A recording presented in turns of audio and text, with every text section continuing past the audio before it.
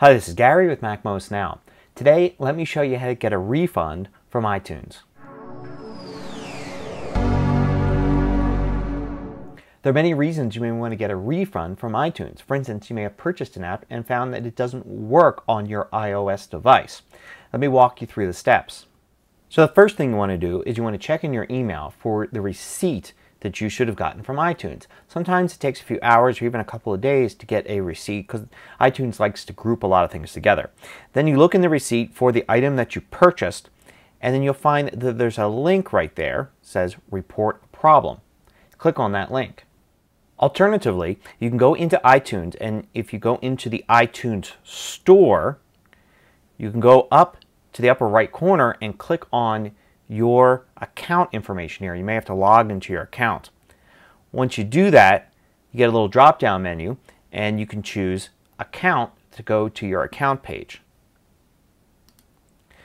From there you'll see some basic account information. You want to click on purchase history. Then you get a list of items that you've recently purchased and a larger list at the bottom that uh, shows you just about everything you've purchased. Find the item, usually by date, and click on one of the arrows to the left to jump to that purchase. Now you've got a list here of everything in that and you may have a lot of free items if you've got a lot of free apps and you have the one application that you want to get a refund for and you'll see that it's got a price there. What you want to do is press the report a problem button at the bottom. Once you do that you'll get report a problem listed next to every item there. You want to click on the one next to the item that you want a refund for. This takes you to a screen like this and then you want to click on the problem type and choose from one of the different uh, reasons listed.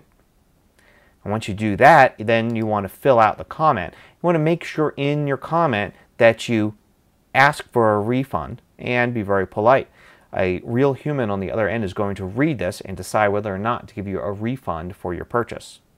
Now keep in mind that you're not entitled to a refund. That's according to the terms and conditions that you agreed to when you bought from the iTunes store. So if you do get a refund, it's somebody at iTunes doing you a favor. If you've got an app and it's just not working for your device, you should try to contact the developer first. They may have a fix for it or suggestion or maybe a new version just around the corner that fixes your problem. If you purchase something by accident or maybe your kid had your iPhone and purchased something without you knowing, well, that's a mistake on your part. And don't expect iTunes to give you a refund, although they may. It doesn't hurt to ask. Thanks to Michael for the suggestion for this topic. Till next time, this is Gary with MacMost Now.